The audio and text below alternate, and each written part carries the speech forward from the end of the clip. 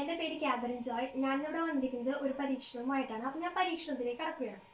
ഇതിനായി ആവശ്യമുള്ള സാധനങ്ങൾ സോൾട്ട് അഥവാ ഉപ്പ് ഷുഗർ അഥവാ പഞ്ചസാര മൂന്ന് ഗ്ലാസ്സുകൾ ഒരു കുപ്പി വെള്ളം മൂന്ന് നാരങ്ങ ഇവയാണ് നമുക്ക് ആവശ്യമുള്ളത്. ആദ്യം തന്നെ മൂന്ന് ഗ്ലാസ്സുകളിൽ മുക്കാൽ ഭാഗത്തോളം വെള്ളം നിറച്ച് വെക്കണം. ഞാൻ നിറച്ച് വെച്ചിട്ടുണ്ട്. പിന്നെ നമ്മൾ ആദ്യത്തെ ഗ്ലാസ്സിൽ രണ്ട് സ്പൂൺ ഉപ്പ് ചേർക്കണം. രണ്ടാമത്തെ ഗ്ലാസ്സിൽ രണ്ട് സ്പൂൺ പഞ്ചസാര ചേർക്കണം. മൂന്നാമത്തെ ഗ്ലാസ്സിലാണെങ്കിൽ വെള്ളത്തിൽ മറ്റൊന്നും ചേർക്കാതെ മാറ്റി വെക്കുക. അപ്പം ഞാനത് ചേർത്ത് അരിയിച്ചിട്ട് കാട്ടിത്തരാം.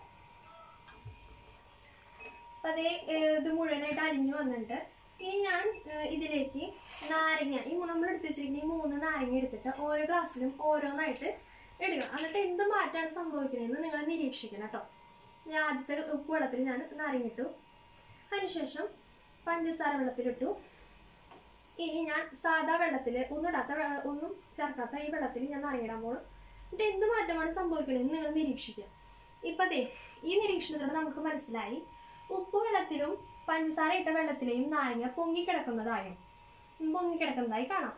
എന്നാൽ വെള്ളം മാത്രം ഒഴിച്ച ഈ ഗ്ലാസ്സിലെ വെള്ളത്തിൽ നാരങ്ങ താഴ്ന്നു കിടക്കുന്നു. ഇതിന് പിന്നിൽ ഒരു രഹസ്യമുണ്ട്. എന്താണെന്നല്ലേ? അതെ സാന്ദ്രത. അതായത് ഏഹ്, നാരങ്ങയിട്ടപ്പോൾ ഇത് താഴ്ന്നു കിടക്കുന്നു. അതായത് ഈ ജലത്തിന്റെ സാന്ദ്രതയേക്കാൾ കൂടുതലാണ് നാരങ്ങയുടേത്. അതുകൊണ്ടാണ് അത് ജലത്തിൽ താഴ്ന്നു കിടക്കുന്നത്. ഇനി ഉപ്പിട്ട വെള്ളത്തിന്റെ കാര്യത്തിലാണെങ്കിൽ ഈ ജലത്തിൽ ഉപ്പ് ലയിക്കുമ്പോൾ അതിൽ ജലതന്മാത്രകൾ തമ്മിലുള്ള അകലം കുറയുന്നു.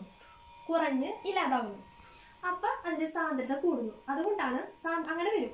അങ്ങനെ വരുമ്പോൾ സാന്ദ്ര സാന്ദ്രത കൂടുമല്ലോ ഈ ജലത്തിന്റെ സാന്ദ്രത കൂടുമ്പോൾ നാരങ്ങ നാരങ്ങയുടെ സാന്ദ്രത എന്ന് പറയുന്നത് ജലത്തിനേക്കാളും ജലത്തിന്റെ സാന്ദ്രതയേക്കാളും കുറഞ്ഞു വരുന്നു. അതുകൊണ്ടാണ് അത് ഈ ജലത്തിൽ പൊങ്ങിക്കിടന്നത്.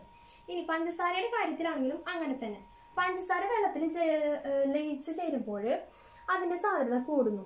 അതുകൊണ്ടാണ് അത് ജലത്തിൽ പൊങ്ങിക്കിടക്കുന്നത്. കിടക്കുന്നത് ഈ ജലത്തിന് ജലത്തിന് നമ്മൾ എത്രയധികമായി പഞ്ചസാര ചേർക്കുന്നോ അതനുസരിച്ച് അതിന്റെ സാന്ദ്രത കൂടുന്നു. ഈ ജലത്തിനും ഉപ്പിന് പകരമായി നമുക്ക് ഈ പരീക്ഷണത്തിൽ വേണമെങ്കിൽ അപ്പക്കാരം ഉപയോഗിച്ച് ചെയ്യാം. ഈ അപ്പക്കാരം ഇടുമ്പോൾ അപ്പക്കാരം ജലത്തിൽ ചെയ്യുമ്പോൾ ഈ ജലത്തിൽ അലിഞ്ഞു ചേരുമ്പോൾ ഈ ഉപ്പ് ചെയ്യുന്ന അതേ പ്രവൃത്തി തന്നെയാണ് ചെയ്യുന്നത്.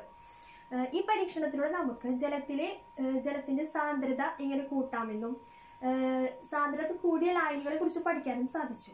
പിന്നെ കൂടാതെ പ്രധാനമായും ജലത്തിനേക്കാളും സാന്ദ്രത കൂടിയ വസ്തുക്കൾ ജലത്തിൽ താഴ്ന്നു കിടക്കുമെന്നും ജലത്തിനേക്കാളും സാന്ദ്രത കുറഞ്ഞ വസ്തുക്കൾ ജലത്തിൽ പൊങ്ങിക്കിടക്കുമെന്നും നമ്മൾ മനസ്സിലാക്കി.